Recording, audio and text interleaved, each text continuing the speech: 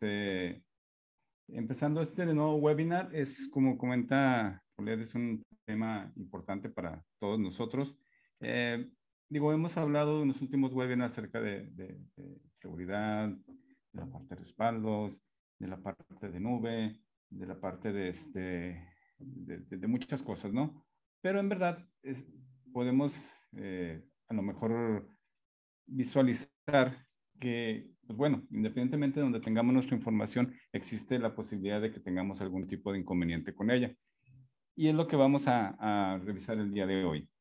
Eh, el temario es, eh, primero vamos a ver las consecuencias de la pérdida de información, más allá de la pérdida de información per se. Es cómo calcular el costo de la pérdida de información, datos de costos en América Latina por la pérdida de información, eh, papel del área, del área de TI en la protección de la información, acciones para minimizar la pérdida de información y al final, o cuando ustedes gusten, pueden hacer sus preguntas y con todo gusto las vamos a, las vamos a, resolver. ¿Ok? Bueno, entonces vamos a, a empezar. Una pregunta, esa me la, estaba yo formulando. Eh, ¿Puede ser la pérdida misma de, de, la información causante de que las, las empresas dejen de existir o que cierren? Pues la verdad es que sí por ahí un estudio que estuvimos, estuve investigando en internet, eh, comenta en, un estudio en Gran Bretaña, Bretaña que el 60% de las eh, empresas o compañías que pierden información cierran dentro de los seis meses siguientes al suceso. Hay pérdidas totales de información, hay pérdidas eh, parciales, pero el hecho de perder información como tal te ocasiona en, en, en algunas ocasiones que, pueda cerrar. Entonces, sí es un, problema este, importante. Ahora, otro estudio también de la Cámara de Comercio de, Inglaterra dice que el 93% de los negocios que sufren pérdida de datos durante más de 10 días se declaran en quiebra un año después. Digo, ya se declaran en quiebra, aquí nada más cierran la cortina y pues ya, ya no voy a vender o ya no voy a fabricar o ya no voy a este, comercializar cosas. Este, digo, es una información que deben de tener en mente todos los, los empresarios.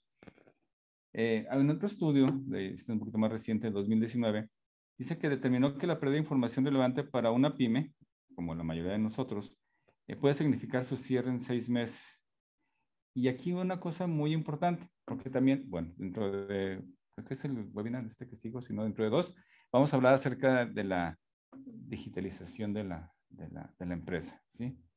Entonces, eh, entre más digitalizado tengas tus procesos o más sistematizados o como quieras llamarles tus procesos, obviamente el hecho de que pierdas información o que no estén disponibles tus sistemas es una, eh, te hará más daño que si estás trabajando eh, de alguna otra forma. A lo mejor voy a hacer un ejemplo.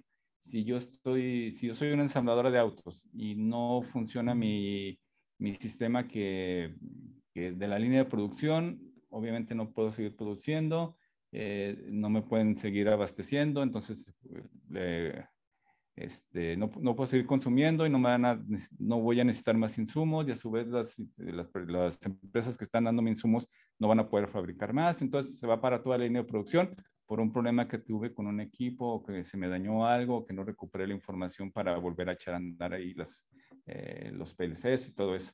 Eso sí sería un, escenario bastante malo. Pero, por decir un ejemplo, si a lo mejor tienes un lugar donde fabricas ladrillos, a lo mejor se te pala el servidor o el servidor en la nube, te lo borras o algo, pues a lo mejor vas a seguir eh, teniendo la posibilidad de fabricar ladrillos. No se va a parar su producción, a lo mejor su, su envío no, pero es, es el ejemplo. O sea, en un lugar si está muy sistematizado todo, está muy digitalizado, tenemos un problema bastante importante cuando no tenemos esos sistemas. Y cuando no los utilizas, o a lo mejor los utilizas nada más para la parte administrativa, que también es importante, a lo mejor tu proceso productivo eh, no va a sufrir tanto problema. Ahora, ¿qué pierde la empresa además de información? Llamarle así información. Ok, primero que todo, daño en la reputación de la empresa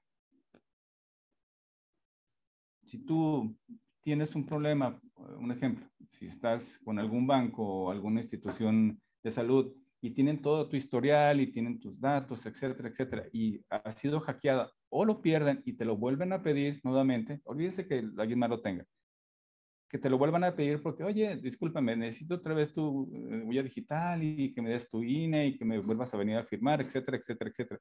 Te lo vas a pensar dos veces antes de volver a contratar a ese banco o esa institución de salud o esa escuela o lo que tú quieras, ¿sí? Es muy importante eso, es y no estoy hablando de que alguien más se robó la información, sino que la persona que lo contenía o la, eh, la entidad que tenía la información guardada, y se supone que desguardada, la dejó de tener. Entonces, si ya no tienes confianza en esa entidad, obviamente vas a cambiar de proveedor. Y la empresa que le pasó ese problema de pérdida de información, obviamente va a tener problemas financieros. Ahora, otra cosa también, dependiendo de eso, es perdí mi información, no tengo manera de, facturar, no tengo manera de cobrar, no tengo manera de embarcar, no tengo manera de producir. Y más allá de todo eso es cómo le hago yo para calcular cuánto me está costando. Por eso aquí dice, algunos estudios indican que casi el 30% de las empresas que han tenido una pérdida de datos también han perdido una gran cantidad de ingresos. ¿Ok? Si no tengo sistema, obvio no puedo producir o no puedo eh, embarcar o no puedo vender o no puedo cobrar, que es lo peor. Entonces sí se vuelve un tema bastante importante. Esto también nos puede ocasionar algunos tipos de gastos, costos ocultos. Un ejemplo, volviendo a la entidad financiera que perdió la información. No dije que se la robaron, que perdió, ¿sí? Tiene que pagar algún tipo de, de multa porque obviamente no está permitido que suceda eso. Entonces, si sucedió y volvieron a tener que tomar los datos, eso, les aplican una, una multa. Entonces, es un gasto que lleva oculto. O bueno, o el contratar a los abogados para evitar esa multa también es un costo. El mandar correos electrónicos para solicitar nuevamente los, los datos biométricos o el hacer las citas para volverlos a tener, obviamente es un costo. Todo eso nos llevaría el perder información. Y algo también para muchas empresas que son sus propios, vamos a llamarle fabricantes o diseñadores, también la parte de la, de la pérdida de la propiedad intelectual es, es algo muy importante. Un ejemplo, por decir, tengo mi computadora y tengo todos mis diseños de todas las partes que fabrico o de todas las cosas que hacen mis PLCs y de repente no la tengo, como el ejemplo que ponía al principio. ¿Qué va a pasar? Ya no tengo mis diseños, no los tengo respaldados, no tengo nada de eso. Entonces, voy a tener un problema muy importante porque no voy a poder recuperarme de eso. Entonces, y muy probablemente vaya a tener que cerrar mis puertas en unos momentos más, digo, en unos meses más. Ok, ahora, ¿cómo saber cuánto nos ha costado la pérdida de información? Eh, cuando tenemos, por decir, un robo en, una, en nuestra casa, pues podemos, de cierta manera, cuantificar un poco rápido el, el monto. O sea, se robaron el, la, televisión, el horno de microondas, este, la parrilla de la, de la estufa, eh, mi reloj, eh, no sé, el, el Roku, ya no voy a poder ver televisión. Entonces, hago una lista de todo lo que se robaron, los costos aproximados, y ya, hago el cálculo de qué fue lo que me robaron. Bueno, entraron a la casa de Juan Pérez y, se robaron eh, cosas por valor de 20 mil pesos. Ah, bueno, perdí 20 mil pesos. Pero en una parte, ya un, un, incidente cibernético, tanto que se hayan robado la información, se haya perdido la información, le hayan secuestrado la información, es un poquito diferente la forma en que, en que se puede calcular eso, porque son muchos factores.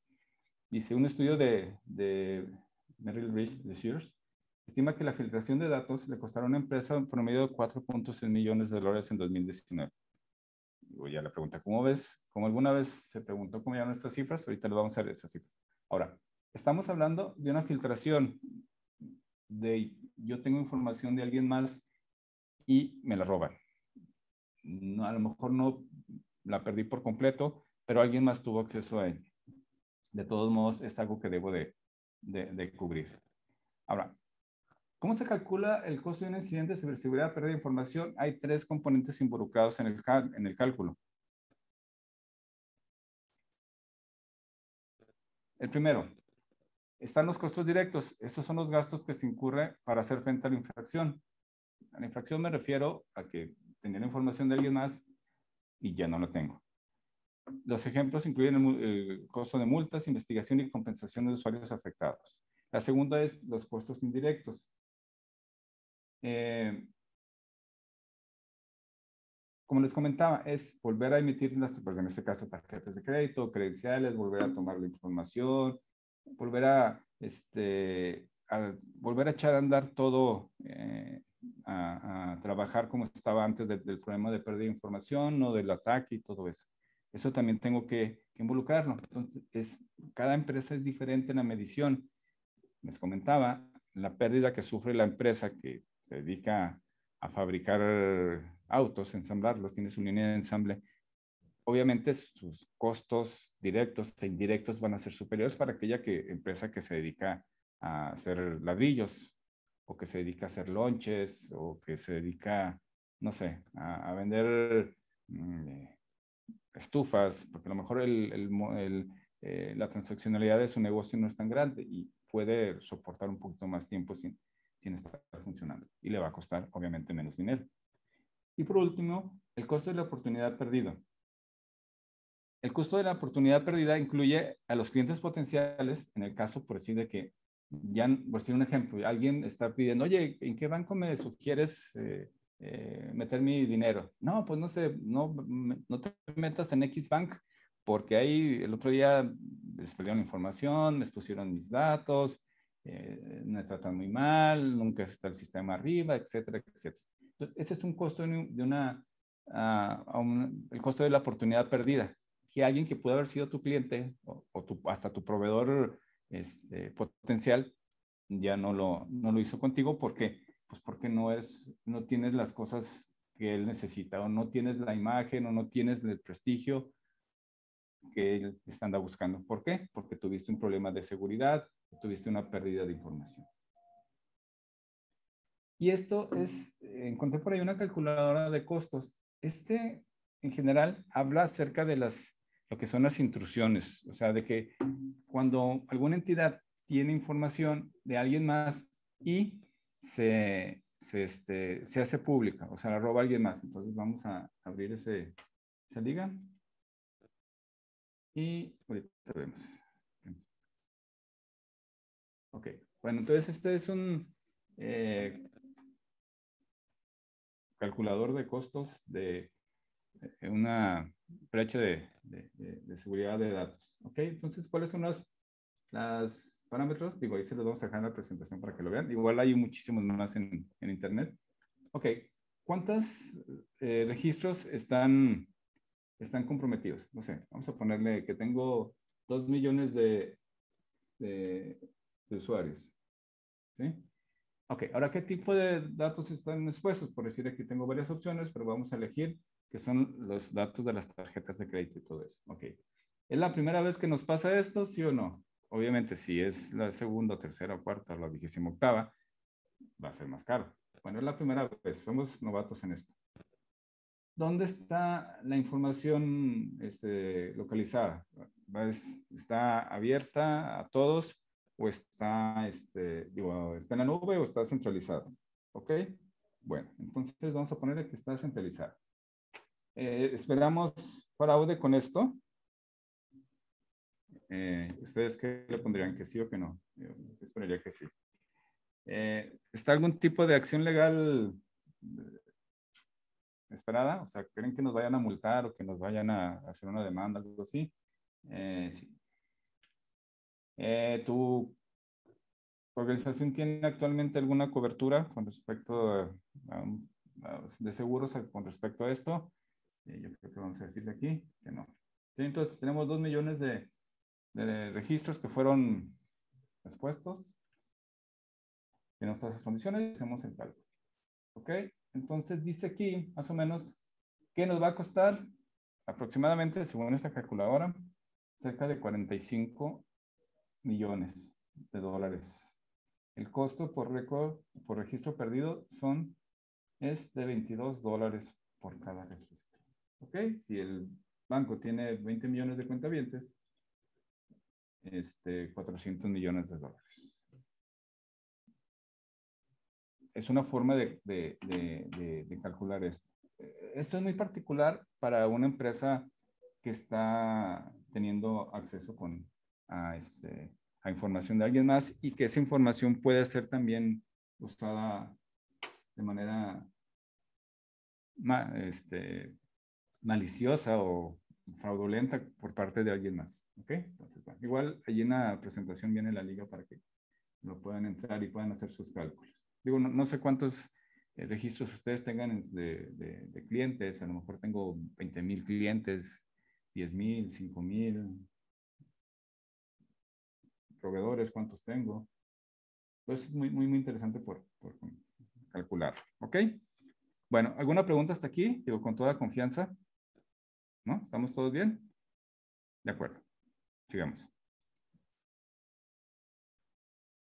Ahora, ¿por qué es importante calcular estos costos? ¿Por qué creen ustedes que sería importante? ¿Le haría sentido? Eh, por ahí, el, el, ¿cuándo fue? Hace que como dos meses estábamos hablando con, con un cliente acerca de, de cómo calcular esto. Es, él tuvo un problema con, con, su servidor y no estuvo en línea por un problema físico y por algunas cuestiones extrañas, no estuvo tres días funcionando. Eh, entonces yo le decía, es que a lo mejor es importante que, que puedas ver en comprar un, un, servidor nuevo o tener una réplica o algo, o sea, pero ¿cómo lo justifico? Pues bueno, a lo mejor eh, en este caso fue un servidor que tenía cuestiones administrativas, pero bueno, el cliente tiene 50 usuarios y los 50 usuarios no pudieron trabajar durante tres días en su sistema. No sé cuánto sea la nómina, pues nomás multipliquen la nómina de todos por tres días, no sé, 10, 20, 30, 40, 50 mil pesos. Y eso es lo que perdiste nominalmente en cuestión de horas de trabajo, pero lo que se trazó, a lo mejor no pudiste hacer algunos pagos, no pudiste cobrar, etcétera, etcétera. Entonces, a lo mejor esos 50 mil pesos que estabas tú pensando al principio, si fueron 100, si fueron 200, o 300, o no tienen los datos para hacer la declaración y te multaron con 100 mil pesos. No sé, puede haber sido cualquier tipo de situación. Pero es importante, por eso es importante saber cuánto nos cuesta, más allá del simple tiempo o la anécdota de que, ay, sí me pasó un problema, pero me, me, me restablecí en tres días. ¿Ok? Bueno. Estimar el costo de un incidente de ciberseguridad, o pérdida de información, por si al, al cliente este que te digo no fue un problema de ciberseguridad, no le encriptaron información ni nada, Nada más dejó de funcionar su servidor. Nada más es eso. Pero sí fue un problema bastante importante. Digo, porque también no tienes donde recuperarte, ni donde sacar el respaldo, ni donde hacer una, una replicación o algo. Entonces sí está muy, eh, estaba medio lento ahí la, reparación. Este, bueno, estimar los costos nos ayudará a apreciar completamente el trabajo que están haciendo los empleados de TI, sufridos empleados de TI y le obligarán a ver o voltear a ver a su infraestructura y sus recursos de TI, así como los registros y la información de que está almacenando. ¿Ok? Ok, este ejercicio lo ayudará a comprender completamente los riesgos que enfrenta su empresa como mitigar y cómo mitigar estas amenazas. O sea, ¿alguna vez se han puesto a, a, pensar en eso? O sea, decirle, jefe, vamos a poner esto porque si nos pasa esta otra cosa, vamos a tener este, tres días de, sin trabajar y nos va a costar un millón de pesos. ¿Alguna vez lo han, lo han, visto así de esa manera?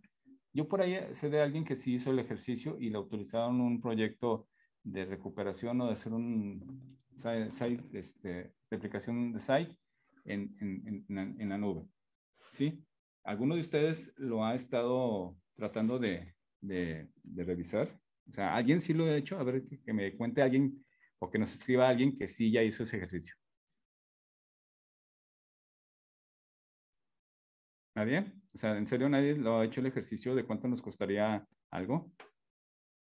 O sea, ¿nos costaría un, evento de este tipo?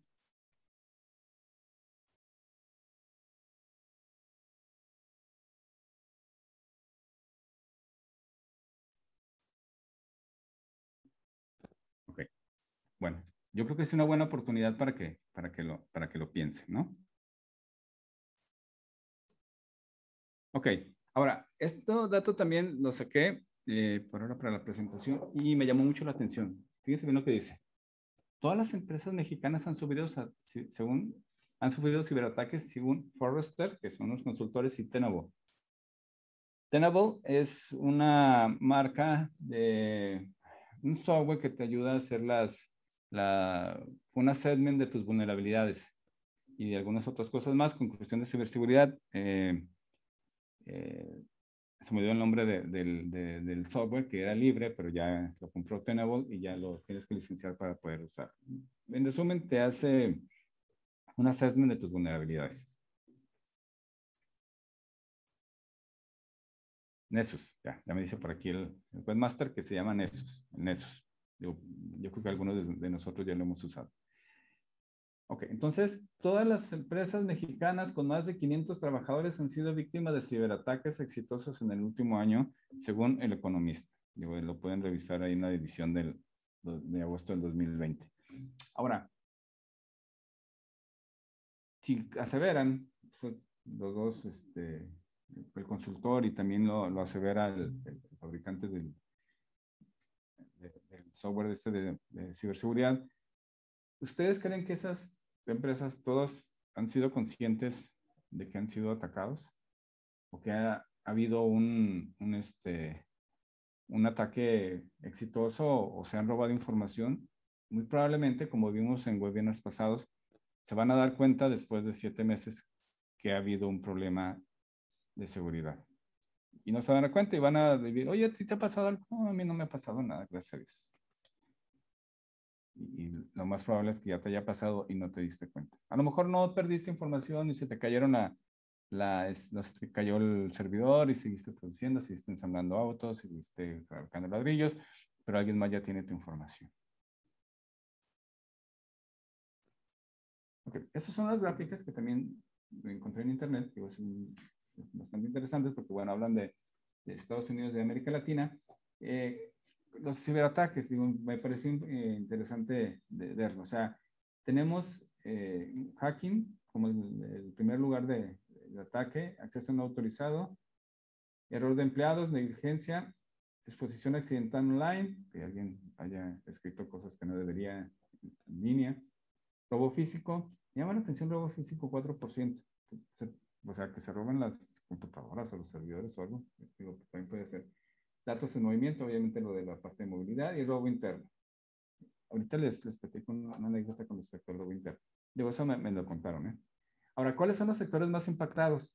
En las empresas, obviamente, de salud, de educación, finanzas y gobierno. Ahora, aquí hay dos, dos, este, dos gráficas. Es el número de, de eventos que se tuvieron y el número de datos expuestos que tuvieron. Entonces, bueno, vamos a revisarlo. Fueron 644 este, número de brechas y 19 millones de registros. Y pero si lo cambiamos a finanzas, tuvimos 108 y tuvimos 101 eh, millones de registros este, expuestos. Entonces, ¿dónde está más lucrativo el asunto de robarse información? Dije robarse, no dañar información. Pues obviamente en la parte financiera. Okay. Y en el gobierno, pues no. Pues, eh, luego las cifras que tienen no son ciertas. Bueno, ok, sigamos. Ahora, ¿cómo andamos nosotros aquí en Latinoamérica con respecto a los costos de la pérdida de información? Dice, el costo financiero para que una organización se recupere de una brecha, de un evento, como quieran llamarle, este, es de aproximadamente 1.9 millones de dólares en Latinoamérica. Es un promedio. A lo mejor ustedes pensarán, hombre, un, dos millones de dólares ni los facturan todo el año. Pero bueno, eso es un promedio. Hay empresas que facturan miles de millones de, dólares al, año, entonces se promedia con los que a lo mejor vendemos poquito, o los que venden más o menos. Entonces estamos hablando cerca de 2 millones de dólares por cada problema suscitado en Latinoamérica. Según el, la OEA y el BID, más o menos el costo del cibercrimen como tal es de 90 mil millones de dólares al año para Latinoamérica. 90 mil millones de dólares. Si lo multiplican por pesos mexicanos son muchos.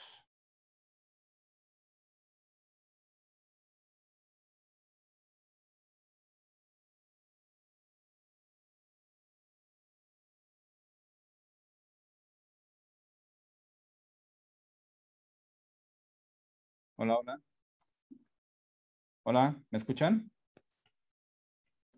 Sí, sí te escuchamos, pero ahorita se, creo que se te fue el audio. Ah, ok. Eh, bueno, déjenme revisar porque... Sí, están viendo mi pantalla, ¿no, verdad? No, te estamos viendo a ti nada más. Bueno, yo, no sé. Ok, bueno, muy bien. ¿Ya están viendo la pantalla? Sí, ya se ve la presentación. Ok, bueno, gracias. déjame, seguimos pues. Entonces, nada más revisar una cosa. Eh, aquí.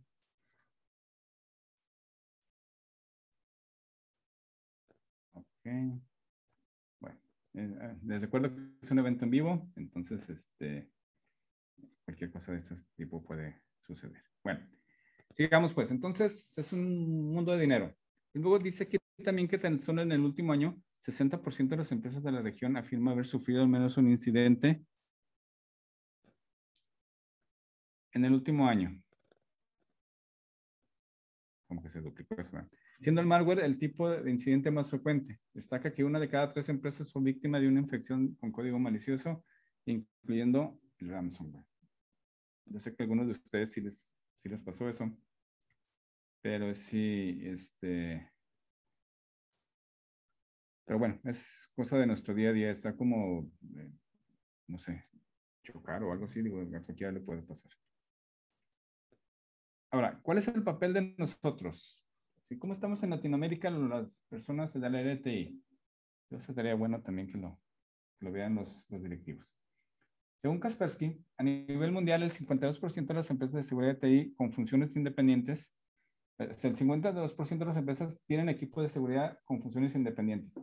¿A qué me refiero con funciones independientes que se dedican única y exclusivamente a ciberseguridad? En lo que respecta a América Latina, la región está bien posicionada en el ranking. Más de la mitad de las empresas, 51% expresó que la ciberseguridad es administrada por departamentos o, profesionales dedicados. Y estamos detrás de Japón y del área de, Medio Oriente y África. Bueno, así dice la, noticia de Kaspersky, no voy a hablar de ellos. Este, está, bueno, yo no dudo de ellos, pero es como, no, no sé, no he visto más de dos empresas que, que tengan a alguien única y exclusivamente dedicado a la parte de ciberseguridad y son empresas de varios miles de, empleados. Entonces, igual a lo mejor esto es, le preguntamos a los más importantes y todos los importantes sí. Digo, no sé, ustedes conocen alguna empresa que tengan a un elemento o un departamento única y exclusivamente de ciberseguridad. Yo les digo honestamente que son dos las empresas que lo conozco y son bastante grandes. Ok, ahora también dice aquí que el estudio eh, destacó también, obviamente el estudio de Kaspersky, que eh, cuando se trata de estructuras ciberseguridad más avanzadas como la de un centro operativo de seguridad SOC o Security Operative Center, Center tener responsable del monitoreo continuo de la respuesta a incidentes de seguridad, que ahí sí yo creo que nada más una empresa de las que conozco lo tiene, América Latina cae a la quinta posición con solo el 14% de las empresas. El 14% de las empresas, de todas las empresas de Latinoamérica, tienen un SOC. El SOC es el que te dice en tiempo real, por lo más cercano a tiempo real, que tienes una brecha de seguridad. Este, no confundirlo con un NOC, que ese te dice cómo están tus enlaces y tus conexiones a red y todo eso.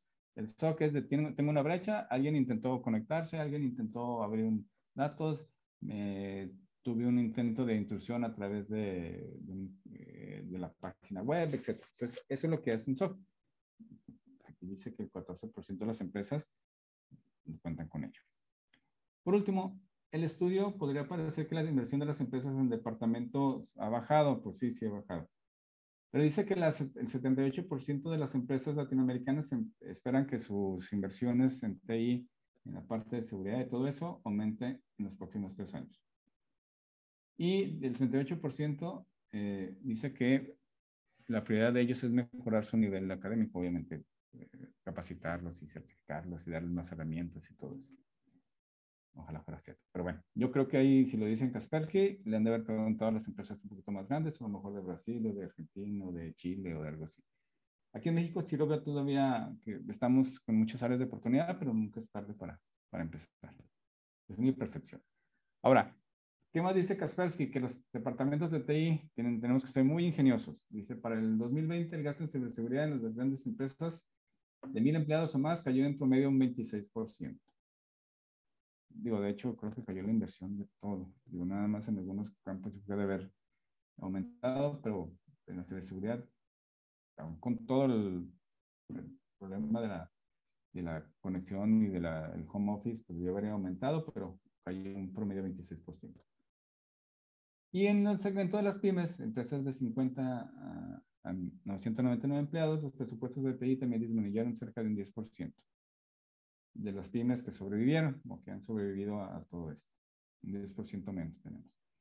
Y es probable que los gastos de los departamentos de TI y la seguridad de la información disminuyan aún más en el 2021. Entonces, sí vamos a tener problemas. Entonces, pues nosotros tenemos que estar ingeniosos y como dicen por ahí los comerciales, hay que hacer más tenemos que ingeniar más para sacar esto eh, adelante porque, ¿qué es lo que pasa? Pues los responsables de todo esto pues, somos nosotros y también los que tenemos que hacer malabares y hacer que todo rinda y, este, y estirar la cobija, como dice un cliente por ahí, para, que no puedas descobijar ciertas partes de, de, de la infraestructura y de la ciberseguridad. Ahora, ¿Qué, podemos, ¿Qué acciones podemos hacer para minimizar la pérdida de información? Esas son muy generales, ¿sí? La primera es controles de acceso a los datos más estrictos. Estamos muy preocupados porque no me hackeen, porque no, este, porque no se metan a mi web server, que no se metan a mi SQL, que no se metan a mi server, que si se me daña mi servidor, me, este, me puede recuperar a través de una replicación, etcétera, etcétera, etcétera. Y estamos cuidando nuestros documentos o nuestros archivos internos. O sea, cualquier persona puede ver cualquier tipo de archivo. Los informes financieros de la empresa o la misma contabilidad tienen acceso todos, todos los usuarios firmados al dominio o a la red o como quieran llamarle, acceso a esos eh, archivos. No dudo que tengamos buenos controles, pero también existe la posibilidad de que no tengamos unos buenos controles. Y más allá de que alguien esté husmeando ahí viendo cuánto gana el gerente o cuánto se le debe al, cliente, al proveedor X o cuánto nos debe el cliente X y todo eso, la posibilidad de que alguien sin quererlo o tal vez queriéndolo pueda borrar información de forma este, consciente. O dejen ustedes, bueno, está bien, voy a, estoy pensando muy seriamente en cambiar de trabajo y voy a llamarme una lista de todos mis, mis este, de mis clientes para que el día de mañana que esté en la competencia, pues ya pueda hablar con ellos. Es un ejemplo. Ahorita vamos a hablar más un poquito en, en esa parte del robo de la información. Dije robo, ¿eh? No dije ni pérdida, ni encriptación, ni secuestro. Es robo de información. Otra cosa también muy importante, eso es de cajón, casi creo, es realizar copias de seguridad. Siempre, o sea, siempre tenemos que hacer respaldos, respaldos del respaldo y replicar los respaldos y obedecer la regla del 321, etcétera, etcétera. Algo también muy importante es utilizar las contraseñas seguras. Bueno, no me podrán dejar mentir, muchos de nosotros que administramos servidores, que es, ay, es que ¿por qué me cambiaste? ¿Por qué tengo que cambiar la contraseña cada 15 días o cada dos meses o cada mes. Ay, no, me complican mucho. Y luego eh, tengo que poner una cosa bien rara y no puedo. O sea, no, no, no puedo. Yo no puedo cambiármela. Y está muy complicado y todos los días le andas ayudando a alguien a que vuelva a poder entrar al sistema. Me han dicho que pasa eso. ¿eh? Pero lo que no saben es de que, por decir un ejemplo, yo me tocó una vez con un, con un, con un cliente este, que eh, las, las, contraseñas eran los segundos nombres de las personas, por decir, era Agustín y el, el password era Gerardo. A lo mejor nada más lo ponían con la primera G mayúscula y este, o todo con minúsculo, o todo con mayúscula, pero era el mismo. Entonces eh, te ponías, llegabas, y, nombre de usuario Agustín, password Gerardo, o sea, rápido. Y es algo que no, es, que no obedece ningún tipo de, de, de calidad con respecto a las, a las contraseñas. Ahora, es la contraseña de todo, la contraseña de tu correo electrónico, de tu acceso al file server, de tu acceso a internet, si es que lo haces bajo algún tipo de, de validación, en la red inalámbrica también, a tu página de, con tu proveedor, a tu página con tu cliente, si es que estás subiendo este, información a su web server para que se apliquen pagos, facturas, etcétera. Digo, bueno, ustedes deben saber más que yo de ese tipo de cosas. O sea, es utilizar contraseñas seguras y estarlas cambiando con cierta frecuencia en todos lados. Importante y no, no se diga de los, de los bancos. Otra cosa también que podemos hacer es proteger el correo electrónico. Eh, sí, sí, es muy importante esta parte. Y más allá de que si recibes spam o no, también existe la posibilidad de que toda tu información que compartes de adentro hacia afuera la puedas encriptar. Hay soluciones de, de anti-spam que te pueden ayudar a generar correos encriptados. Entonces, yo le mando un correo a un cliente y el cliente tiene una contraseña o tiene un acceso y va a ver el correo que yo le envié a través de un web server o a través de alguna herramienta especial. Y si no tiene esa contraseña o si no tienes acceso, no va a poder ver el, la información. De hecho, eh, ya depende cómo lo quieras, la información nunca salió de tu servidor. La puede acceder el cliente con respecto al correo electrónico como tú lo decidas. Entonces, también eso es, importante.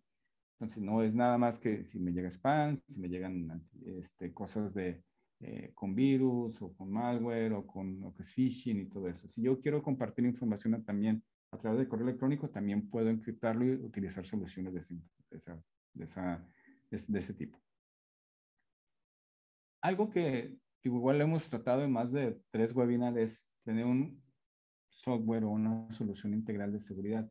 Algo que podamos ver desde una sola consola o de dos consolas, pero que esté integrado todo, es algo muy importante, es el, endpoint, es el antivirus, es el firewall, es el, anti-spam, es el verificador de, de dónde ando en, la red, es que pueda tener un, como se dicen muchos, un, single pane, o sea, una sola consola, un solo eh, pantalla donde pueda ver toda la salud de mi, de mi, de mi ciberseguridad y también de, de, mi red. Entonces, sí es importante tenerlo.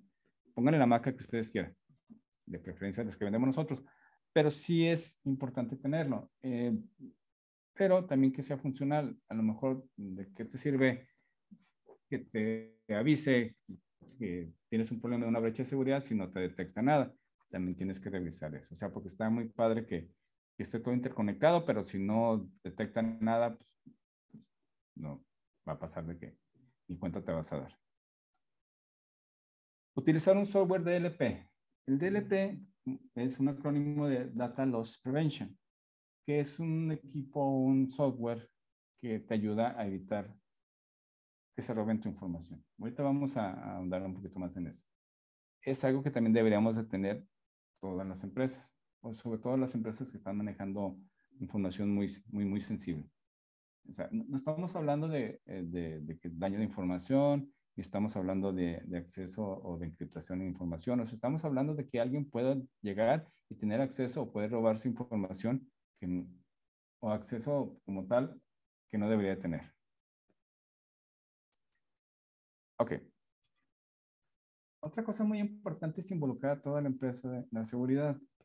Eh, estaba yo el otro día con, con un cliente eh, revisando su, su anti-spam y, y, me reclamaba, oye, es que, ¿por qué no está, por qué me están bloqueando estos correos de una página que tengo así? Digo, es que no cumplen con ciertos estándares de seguridad. No le puedes decir al programador que le pueda mover algo ahí para que los haga de otra forma.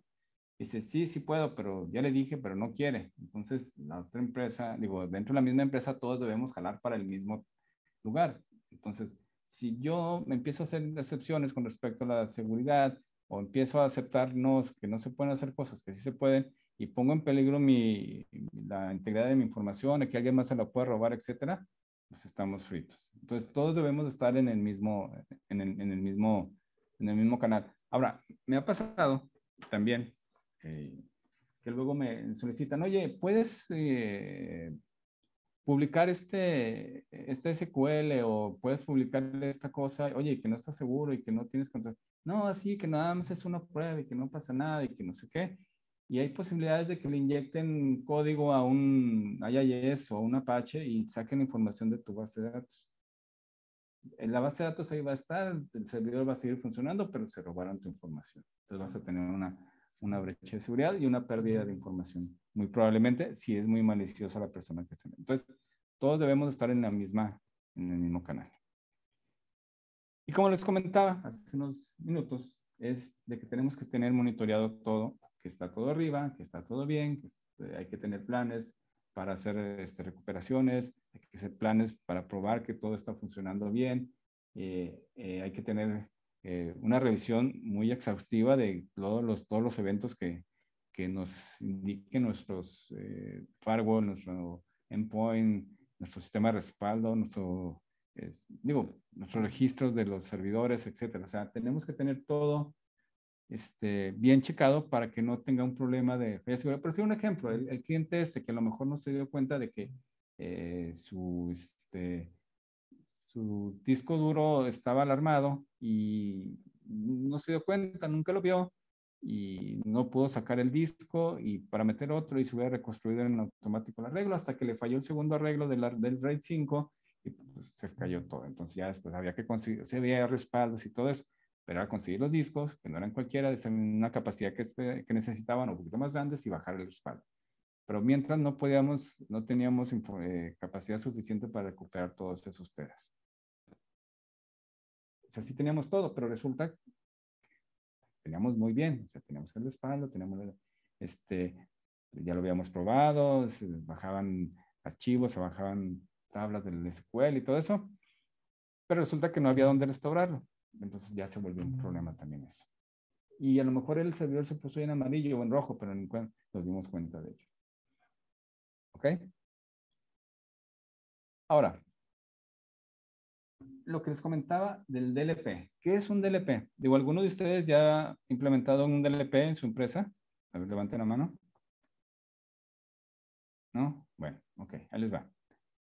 Dice, Carlos Álvarez dice que levantó la mano. Excelente. Muy bien. Este, sí hay muchas opciones en el mercado. De, hecho, este, dos levantaron. Excelente. Muy bien. ¿Hay alguien más? Ya no sé quién más fue, pero bueno. Ok. Bueno, entonces, eh, ¿qué es un DLP? Es una estrategia que muchas empresas deberían de adoptar para evitar la pérdida, el robo de información, DLP. Eh, en resumen, es un conjunto de herramientas y tecnología y procesos que garantiza que los datos confidenciales no sean robados o perdidos. Eh, es un set que se de set de cosas, o sea, de, auditar quién tiene acceso a quién, quién envió a qué cosa, encriptar cosas, este, verificar la consistencia de la información, etcétera, etcétera, etcétera. Entonces, todo eso es un DLP. O sea, más allá de, de un simple respaldo, tenemos ahí la certeza de que la gente no está haciendo mal uso de la información o que no está teniendo acceso a la información que no debería de tener acceso y que además que está íntegra y que aparte la tenemos bajo llave completamente. ¿Sí? Ahora,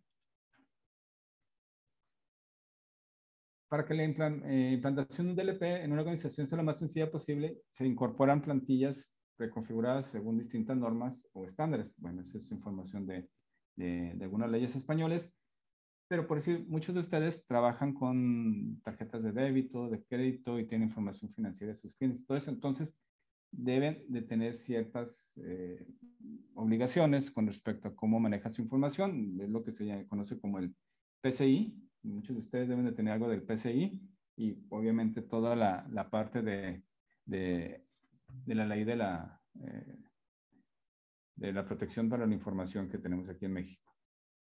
Muchos de ustedes deben de tenerla, seguro. Y ya han tratado y han visto que sus sistemas juntan con el PCI, etcétera, etcétera, etcétera. Así pues, un DLP nos ayuda a tener visibilidad de, de todo esto. Y para finalizar, igual hasta aquí tienen alguna duda, con confianza, de que levanten la mano y, si quieren, se les podemos prestar ahí para que, hablen en vivo. ¿Alguien más que quiera compartir algo que, le haya pasado? Bueno, Carolina ya dijo que ellos sí tienen un DLP, muy bien por ustedes. ¿No? ¿Nadie? Hugo a ver, Hugo. ¿Tú también lo hiciste? Excelente. Ok, una pregunta. ¿No? ¿No? Bueno, está bien. Sigamos pues. No es muy tímido el día de hoy. Bueno, ok. Para finalizar, a ver, alguien que me diga de qué, de qué fue el webinar anterior. ¿O cómo se llamó? Los que estuvieron aquí la semana pasada, digo, hace 15 días. ¿De qué se trató el webinar? ¿Nadie? ¿No? Definitivamente están muy tímidos el día de hoy. No, o sea, que escriban ahí una pregunta de qué se trató el webinar. ¿No? ¿Office 365? Mm, sí. Bueno, más o menos. ¿De qué más? ¿Alguien más?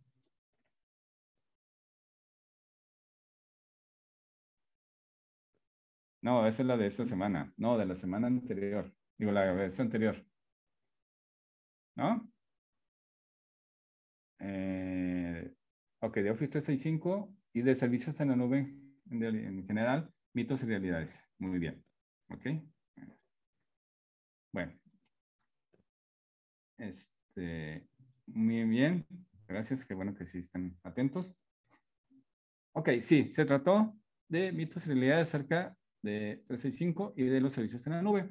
Entonces me di a la tarea de buscar información acerca de contestar nuestra pregunta, hablando de de información. ¿Dónde está más segura nuestra información? ¿On-premise o en la nube? Ustedes pueden... Ah, ok. Bueno, y ahorita comentamos ahí lo que, dices Hugo, que desgraciadamente les pasó por ahí un problema de seguridad. Bueno, que nos platicó ahorita su experiencia, como qué tanto le costó recuperarse. Entonces, ¿dónde está más segura esa información? A primera mano, si le preguntas a alguien, te va a decir, no, pues on-premise está más segura. Bueno, pues, pues podría ser que sí. ¿Dónde está este, eh, mejor protegida o alguien no la puede ver? ¿Está muy mejor protegida aquí on-premise o hay más cosas de seguridad ya en arriba en la nube? Eh, también es cierto. ¿Dónde está más disponible mi información? Bueno, vamos a, a revisarlo, ¿no? Ok, lo primero la seguridad física. ¿Y qué nos dicen? En la nube, las instalaciones que alojan miles de servidores cloud cuentan con mecanismos de seguridad para minimizar cualquier fallo. Para ello se apoyan en controladores, controles ambientales y temperaturas, sistemas de incendios, etcétera, etcétera. ¿Para qué? Para que estén seguros de forma física los servidores. O sea, no se va a incendiar el site, o no debería hacerlo. Eh, siempre van a tener a buena temperatura. Van a ser equipos físicos que si llegan a fallar se recuperan rápidamente, etc. ¿sí? Y on-premise, y on-premise dice aquí eh, que muy gran, por muy grande que sea la inversión en la seguridad física de un servidor propio, difícilmente podrán igualar las medidas de la seguridad cloud. Eh, Sí, yo la verdad he visto sites muy interesantes, muy padres, pero nada que ver con un nivel que tienen los, los de, de, cloud, la verdad. ¿Sí? Y si es cierto, pues bueno, o sea, cuesta dinero. O sea, si tú llegas con tu jefe y le dices, necesito dos millones de pesos para poner en orden el site, te va a decir gracias por participar. Y ya tienes actualizado tu LinkedIn, digo, para que pongas tu nuevo estatus. Ok. En la segunda, la seguridad de los datos. ¿Sí? O sea, primero fue la parte física, luego la de los datos. Dice, la seguridad en la, nube es mayor y se replica de una manera más sencilla. Los servidores cloud tienen servicios compartidos que aseguran los backups, dispersan información y lo hacen menos accesible. Y lo hacen menos accesible, o sea, accesible con respecto a hacia afuera. Mm, pues sí, por lo menos los servicios de Azure que, que hemos tenido, pues sí, se replican los respaldos, se replican las, si quieren las máquinas virtuales, si quieres hacen respaldos cada eh, X tiempo, eh, te puedes recuperar de una forma rápida. Mm, si se daña un site, vamos a suponerlo, puedes encender con tus mismas configuraciones en otro, en otro site en otra parte de, del mundo. De hecho, va a haber un site aquí en Querétaro de, de Microsoft también, etc. ¿Sí? Y en Premise, si bien es cierto que las copias de seguridad también son automatizadas, cuando tienen, descentralizadas, defragmentadas y, replicar, y defragmentarlas y replicarlas supone una complejidad técnica y una inversión costosa. Sí, sí, es cierto también. Ok, entonces, pues bueno, un premise, si estamos seguros, sí. O sea, tenemos nuestros SLAs propios, sí. Digo, no tenemos la infraestructura de, de, de un cloud, de Nacho, de un Service, de un Amazon, lo que quieras, de una Lestra, de Ara, como quieran llamarle. Pero bueno, pues también no gastamos en esa parte, invertimos inteligentemente y a lo mejor la información, nuestro SLA nos da nuestro negocio para a lo mejor, en el hipotético caso de algún evento, este, de estar una hora, dos horas, tres horas este, fuera de circulación y no le va a pasar gran cosa a, a, la empresa. Digo, por eso es importante ver cuánto nos costaría un evento de este tipo. Entonces, vamos bien. Entonces, vamos este, avanzando. ¿Ok? Ciberseguridad. A ver, vamos a ver qué nos dicen. De la tecnología que usan los servidores en, eh, de nube se sirve de sistemas de encriptación de datos punto a punto. Mecanismos de seguridad contra ciberataques y virus, equipos de seguridad dedicados. Sí, sí, cierto, sí lo tienen. Pero, pero, no viene dentro del, del servicio como tal. Tienes que agregarlo. O sea, sí lo tienen, pero no es gratis. O no viene incluido en el servicio básico. Este, son como los canales premium, o sea, obviamente tienes que, eh, tienes que agregarlos. Entonces, sí vienen, pero el paquete es normal, ya si quieres tú más, pues obviamente te va a costar más y te lo van a cobrar, este, obviamente, junto con, con la mensualidad. Y on-premise, el servidor propio, salvo excepciones, suele estar conectado a la red de nuestra compañía. Sí, muy probablemente. Por lo tanto, la seguridad es directamente proporcional a lo vulnerable o no que sea nuestra red. Sí, sí, cierto. Entonces, no quiere decir que, que no lo podamos hacer bien on-premise, ¿eh? O sea, podemos tener buenos controles de seguridad y podemos tener buenas soluciones y podemos hacer las cosas bien. Definitivamente. ¿Sí? Entonces, este, pues hay que, hay que valorarlo. Eh, no sé, a lo mejor la tendencia es, si es una empresa pequeña con un solo servidor, eh, digo, no voy a invertir en un site, no voy a invertir en un, en sistema de replicación, no voy a invertir en un, eh, en un este, sistema de, de contra incendio, etcétera, etcétera, etcétera, un UPS, una, una, este, una planta de energía. Y yo creo que lo más probable es que pague entre 3 y 10 mil pesos al mes y tenga su servidor en la nube y que todo lo que les acabo de platicar sí lo tenga. Y ellos no tengan que hacerlo nada, lo único que necesitan es una conexión a internet y agregar más cosas a su, a su, pues, digo, esa, esa es la tendencia, la verdad. Ya cuando son empresas muy grandes, pues sí está complicado. Ahora, otra parte también importante es la disponibilidad. La nube en este caso es un sistema mucho más adaptado para facilitar el teletrabajo en remoto. De hecho, todo es teletrabajo, porque para empezar, no está en el site, no está en mis oficinas. Entonces, todo es remoto. Así. Además de saltarse la obligación de estar en oficina, que a veces no creo que sea tan bueno, pero bueno. Poder acceder desde cualquier dispositivo a nuestro alcance y suponer romper una barrera más. O sea, de que ya estamos todos en la nube y quién sabe dónde están mis, mis, este, recursos, pero yo los accedo de cualquier lugar. Ok, bueno. Y un premise, un premise, eso está muy enfocado a la, a la comparación con respecto al el, este, esquema de, de teletrabajo. Para igualar en disponibilidad a los servidores cloud, on-premise debe contar con una instalación extensa que probablemente dependa de hardware y software, como los VPNs. No obstante, si se trata de una localización donde el acceso a Internet es limitado, un servidor propio es la solución más óptima. Pues sí. Um, no recuerdo, creo que fue hace dos semanas o tres, estuvimos hablando con un cliente acerca de, de, de eso, o sea, él tenía su intención de, de tener una, una, este, un servidor en la nube y cambiar su operación así, todo eso y llegamos al punto complicado. ¿Cómo están sus enlaces a internet? Este, pues tengo unas antenas y de las antenas de ahí saco el internet directamente a la sucursal. Algunas sí, sí tienen este, un infinitum ahí de esos de que le das, le depositas monedas y le das cuerdas todavía porque no ha llegado a la fibra. Eh, entonces, pues sí, está todo maravilloso, pero mm, la parte de la nube no está todavía madura la infraestructura para poderla implementar. Entonces, igual a lo mejor dijo que ya iban a llegar, especialmente en una sucursal que era la que más le llamaba la, más intención quería de, de poner un, una solución de este tipo, eh, aún están por llegarle los, los servicios buenos de Internet. Entonces, eh, aquí la, la, respuesta es, ¿dónde está más seguro? Pues está seguro, yo creo que si lo tomas con respecto a la inversión que no tengo, sí está más seguro en la nube, con lo que te conlleva de, la parte de, este, de, inversión y todo eso. Pero si ya tengo, a lo mejor estoy ya un poquito menos de inversión para lograr igualar ciertas, ciertas cosas. Depende mucho del negocio, depende también de, de, de la capacidad que tenga de, de, soportar algún tipo de evento en la empresa. No estoy diciendo que todo el, la nube es maravilloso, sí también tiene problemas. El otro día nos quedamos un rato sin, sin 365, no sé si se dieron cuenta, creo que era un domingo por la mañana, fue como una hora o algo así. Entonces, eh, nada es infalible. Eh, la posibilidad de que se disminuyan un poco las, las, los eventos sí son, pero no hay nada.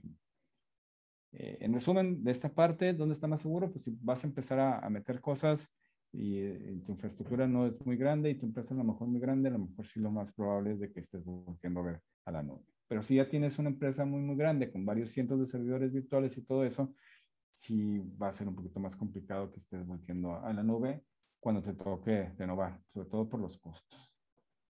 Ok, bueno, ¿alguna duda, sugerencia, comentario? Este, ¿Alguien más que quiera compartirnos, decirnos algún, o que nos quiera comentar acerca de, esto? A lo mejor está en el proceso de, implementar algo en la nube o migrarse y todo eso, y, podría comentarnos algo al respecto. ¿No? ¿Alguna duda, sugerencia? ¿No, nada? Ok, entonces, si no tienen más preguntas, bueno, si quieren al, al rato me pueden hacer más o algún comentario, este, le paso los micrófonos a, a, a. Gracias.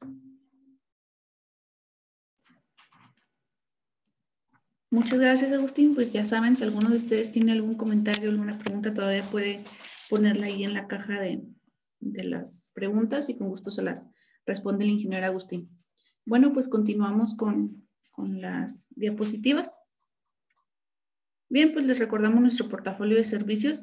Podemos eh, apoyarlos en la parte de redes y comunicaciones, venta de equipo de cómputo, licenciamiento de Microsoft, ciberseguridad, virtualización de escritorios y servidores, pólizas de mantenimiento, servicios especializados, almacenamiento y respaldo, financiamiento y arrendamiento de equipos. Sobre todo de este último tema, por ahí les hemos estado haciendo llegar algunos flyers, espero que sean de su interés. Si tienen algún comentario o alguna duda, también por ahí por el correo pueden este, solicitar más información. Siguiente, por favor.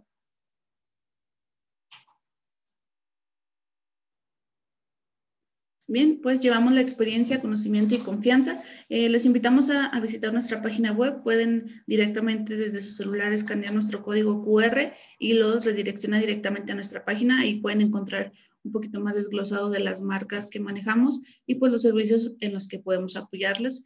Les menciono algunas marcas, eh, HP Enterprise, HP para equipo de cómputo, Aruba, Fortinet, Microsoft, Citrix, VMware, Dell, Cisco y Sophos.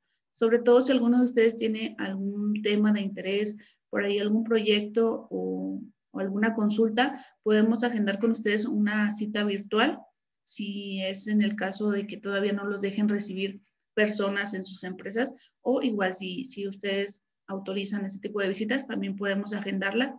Y pues recordándoles que la consultoría es 100% personalizada para ustedes. Siguiente, por favor.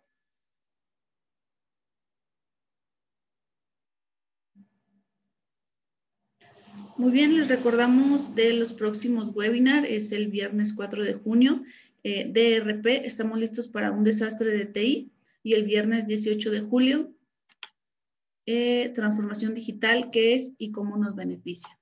También los invito a que nos ayuden por ahí a responder la, la encuesta, es muy pequeña, no nos toma yo creo que más de dos minutos. Por favor, si son tan amables de contestarla, esto es para ir mejorando los webinars semana con semana. Les voy a dar por ahí dos minutos. Creo que está una pregunta en la caja. Si quieren, eh, en lo que unos van respondiendo la encuesta, Agustín, ¿nos puedes ayudar sí. con esta pregunta? Ok, sí, está bien. Mira, por aquí estoy viendo que es, bueno, Eder, bueno, Eder, ¿cómo estás? Buenos, buenos días. Este, ¿Cuál es la mejor opción de conmutador IP? Cloud, on-premise, híbrido. Híjole, este, mucho depende de, de, de, tu, de lo que quieras hacer y tu necesidad. Por decir un ejemplo, eh, tengo clientes que, un cliente en especial que tiene, ellos manejan un call center y lo manejan todo a través de, de, un, de un servidor totalmente, de un conmutador en la nube. Tengo otro cliente que también tiene su call center, pero tiene su, su, su, su aparatito eh, on-premise. Sí, este, depende mucho de cómo lo vayas a hacer, cómo lo vayas a configurar y precisamente cómo lo vayas a utilizar, porque si vas a tener una empresa este, o un lugar donde va a estar todo concentrado tu call center, que no creo que se dé eso este, muy frecuentemente ya a partir de todo esto, pero bueno, a lo mejor sería más, más de ahí on-premise. Eh, ¿Te encargarías a lo mejor de las salidas a internet? Bueno, pues probablemente, o la salida a la, a la troncal de la telefónica.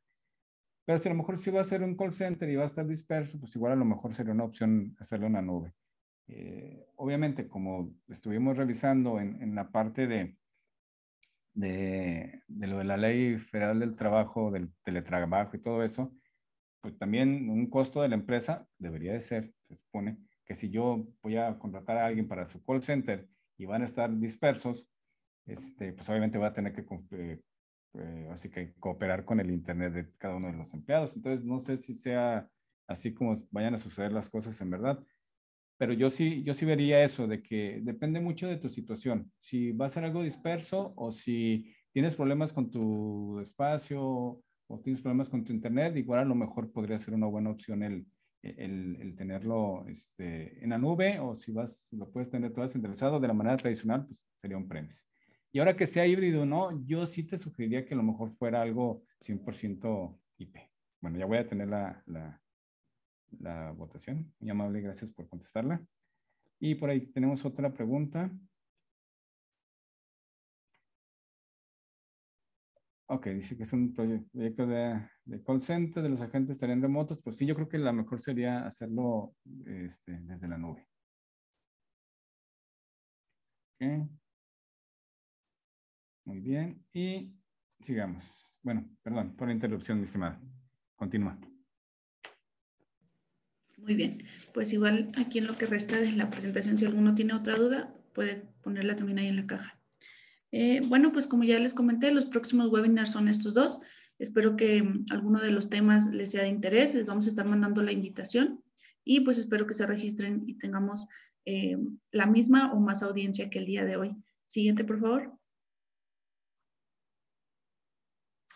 Muy bien, pues aquí nuestros teléfonos de contacto. Bueno, no está el mío, pero está el del ingeniero Agustín, eh, que impartió este webinar, el ingeniero Carlos Rojas el ingeniero Daniel Sosa. El ingeniero Agustín, les recuerdo, es, em, es de servicios especializados.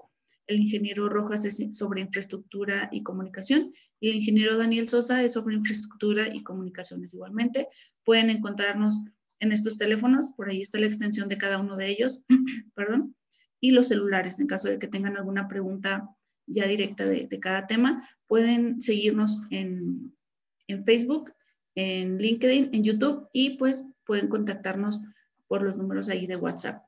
Eh, por mi parte, pues sería todo. Espero que podamos volver a vernos en las próximas sesiones y pues que tengan un excelente fin de semana. Ingeniero Agustín, no sé si tengas algún último comentario. Creo que cayó por ahí otra pregunta. Sí, que una pregunta, Agustín, ¿nos ayudas? Este, sí, me pregunta por ahí a López. ¿Cuánto más o menos cuesta un DLP? Esa es buena pregunta. Eh, igual si quieres lo, lo platicamos en, privado. Es que, no sé si se recuerdan de la, de la presentación, pero ocupa varias cosas. O sea, no es el, lo puedes comprar por módulos. Entonces depende de qué es lo que quieras implementar, cómo lo quieras implementar, cuándo lo quieras implementar y qué quieras cubrir. Entonces, sí es, este, eh, no hay, un costo, no es una licencia de un endpoint que, 20 dólares por usuario por año. No, no es así. Pues si quieres, ahorita lo, lo, platicamos. De hecho, tenemos por ahí pendiente una llamada. Entonces, este, sí, no, no te puedo decir ahorita cuánto, pero sí este, es una inversión este, interesante porque eh, sí involucra varias cosas. No nada más es de que pongo mi cajita y ya. Pues, el cambio también de, de, este, de, cómo está la infraestructura, cómo está la parte de, de, la seguridad interna de la empresa. Digo, les, les, comento, yo un día estuve con un cliente y uno de los antivirus que, que, que estábamos implementando tenía la parte de encriptar información, eh, pero se volvió un tema la parte de la encriptación porque estaba medio requisitoso y luego como lo querían manejar no era la, la forma más adecuada. Sí, sí estaba funcionando bien, pero no cumplía con la rapidez o lo que, la fluctuación de, de información que querían. Entonces sí, este, este, ah, no había puesto mi cámara. Sí, no había estado, digo, no cumplió las expectativas que tenía porque eh, se volvió medio burocrático el proceso. Entonces no lo, no, lo, no lo adquirieron de esa forma, también es parte de un DLP. Pero bueno, igual platicamos al respecto. Este, y sí es una solución que muchas empresas eh, deberíamos de estar eh, pensando en ella. Ok, bueno, perdón. Y pues bueno, pues si quiere ya despido yo, Paulette. Eh, muchas gracias nuevamente a todos por estar participando. Les agradezco mucho las participaciones que tuvieron.